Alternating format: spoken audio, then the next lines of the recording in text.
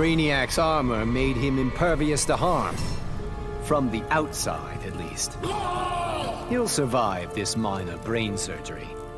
He just won't be able to control his skull ship anymore. Crisis averted, I can get back to searching for my missing mentor. Professor Ray Palmer.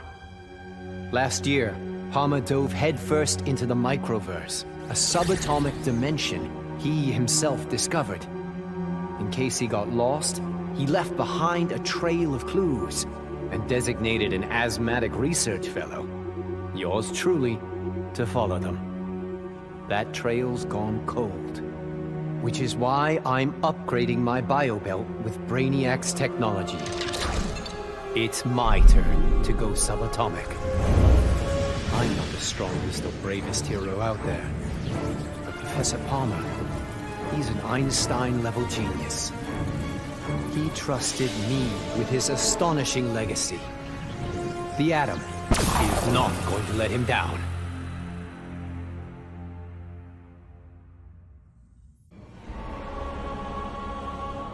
Brainiac stole Atlantis. For that, I could have thanked him. But that wasn't enough. Arthur Curry's kingdom had to be wiped from history. Forgotten. Lost. As it should be. I found just the place, guarded by Earth's most savage murderers. Once upon a time, Arthur Curry killed my father. Now that I've killed his kingdom, all that remains is to kill the king himself. Only then will I consider my father's murder avenged. Only then will I rest. And what of Aquaman? Does he come forward to avenge his own people? No. He hides behind an alien and an Amazon. Let him. It won't save him. Compared to that alien freak Brainiac, these three will be fish for the slaughter. And when they're dead, the world can thank Black Manta.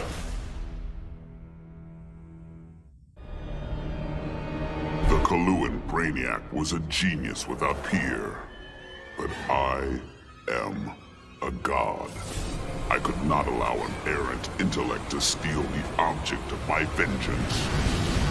Superman refused to submit to my will, denied my conquest of Earth, and killed my son, Kalibak. He suffered and perished, but not until I told him exactly what would happen after he died. Kara Zor-El proved quite resilient, but eventually, Desaad broke her. She is a powerful weapon, a natural leader for my new invincible breed of parademons cloned from the DNA of Superman himself.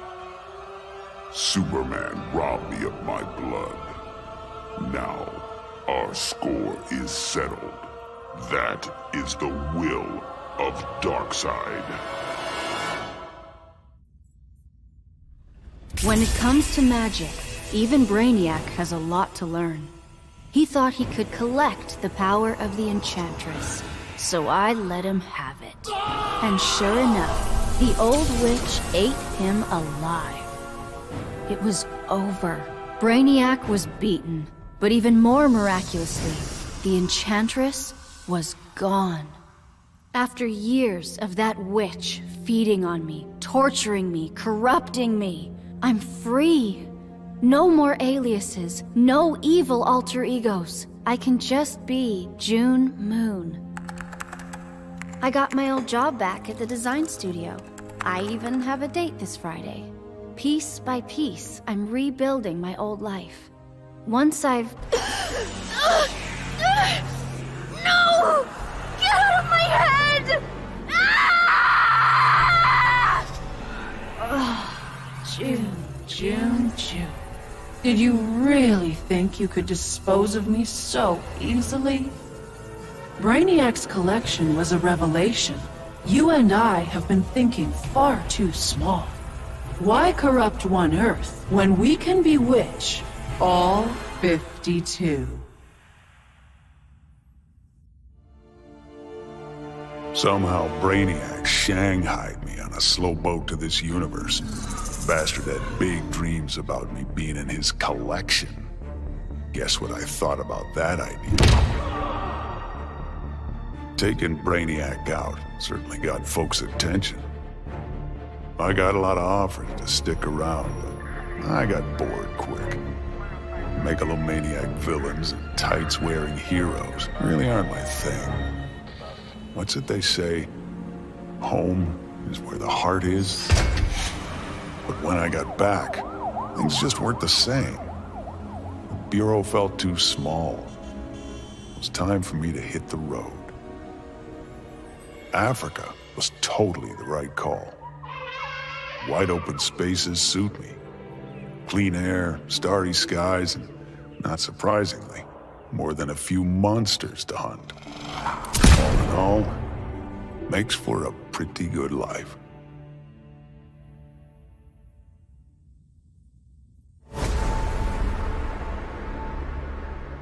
Though I had defeated Shinnok, his corruption of Earthrealm's Jinsei had cracked the barrier between my realm and this one. I began having visions of Brainiac's collection of this Earth. I realized that Brainiac's actions would soon destroy the barrier among all the realms. All life would be annihilated. With Brainiac dispatched, I tended the injured. His wounds too great, Kent Nelson could not be saved. But as he died, he warned me. The Armageddon I had foreseen was the design of the Lords of Order. By destroying reality, they would return the multiverse to a perfectly ordered state, obliterating chaos.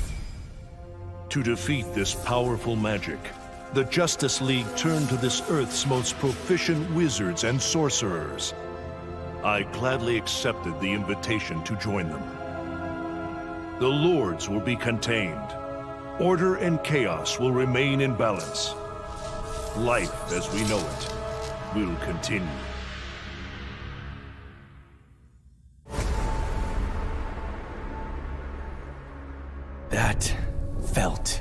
Good.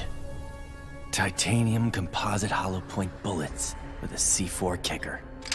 Fastest, most explosive ammo in the world. I made them myself. With the invasion over, Bruce and Superman started fighting again. I wasn't down with either of them. On the one hand, the regime's right. Scumbag murderers and rapists deserve to die. But on the other hand, I'm no fan of government authority, especially the dictatorial variety. So while the world's finest fight each other, I fight for the people. The weak, the innocent, anyone who can't protect themselves. When they cry out for a savior, I'll answer. As for the criminals who threaten them, they need to know that their actions have consequences. That the Red Hood is coming for them.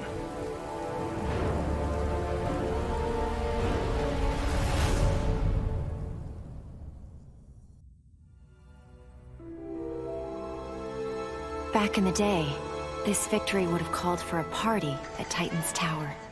The music, the laughter, the mustard with pizza on bottom. But these days, I have no party mates. Raven became a servant of Trigon. Cyborg? He joined the regime. Beast Boy has been missing so long, I must assume he is dead. Dick Grayson. He was my star-crossed soulmate.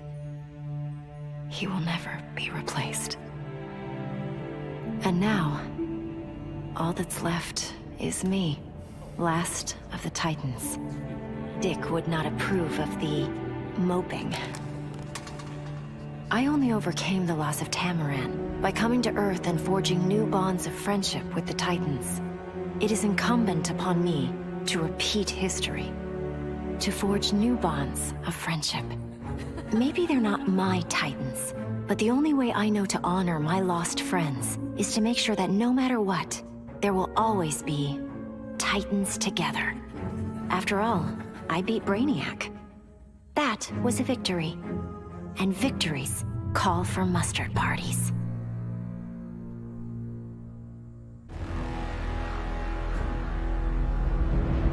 I arrived in this realm accidentally. Driven here by magic unleashed as I forced Kotal Khan's retreat from Earthrealm to Outworld.